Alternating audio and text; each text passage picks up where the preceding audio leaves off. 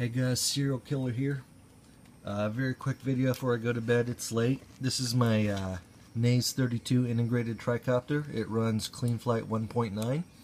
What we were attempting to do, uh, and I just managed to get working, was run a channel, um, send it out so that you could have pass through, so that you could control a camera servo or a brushless gimbal from your controller.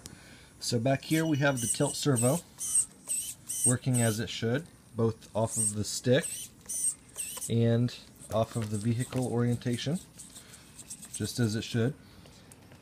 And that is the normal servo. Servo number 5 is what it technically is. It hooks up to the motor 1 pin.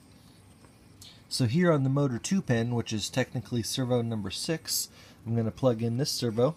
I have to have it plugged in for as short as possible because it's an analog servo and this is set up to run a digital servo. So let's go ahead and plug that in. You can hear it come alive right away. I don't have a spare servo, that's why the plane's sitting under here.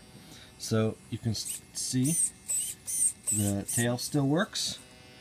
The servo does not respond to rudder commands and it does respond to aux2 and the tail does not respond to aux2.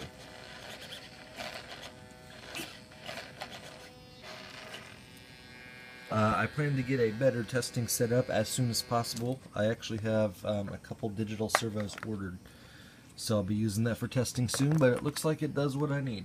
Thank you.